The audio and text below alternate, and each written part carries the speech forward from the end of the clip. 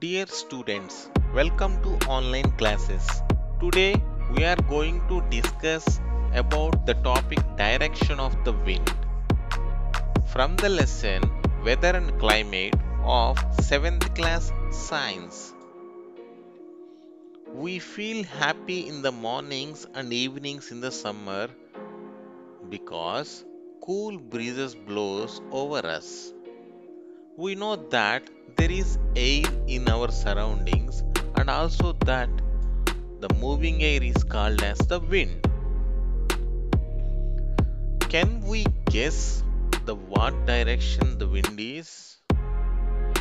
So we can easily guess by checking the direction of the flying of the clothes or direction of the leaning of the trees or leaves etc but we don't know the exact direction. So let us do. Let us find the direction of wind by using cardboard pieces and a thin nail. Take two cardboard pieces and cut them the shape of an arrow and paste them together. You need to cut the two pieces in the form of arrows, two arrows, and we need to stick them Insert a thin needle or iron wire in the middle of the arrow. The needle must be long enough to be fixed on a strong base and should allow the arrow to move along the direction of the wind as shown in the figure. We can make it with the straws also. You can see in that with a pencil box and a straws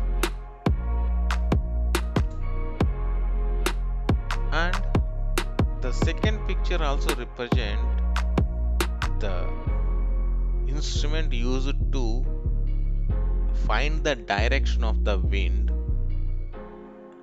And generally it was located over the industries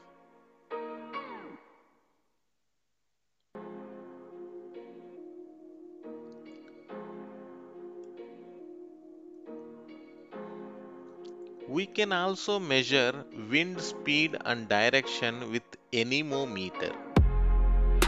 So this is the anemometer in the earlier days which is used to measure the speed of the wind as well as the direction of the wind. And this is the electronic anemometer where we can get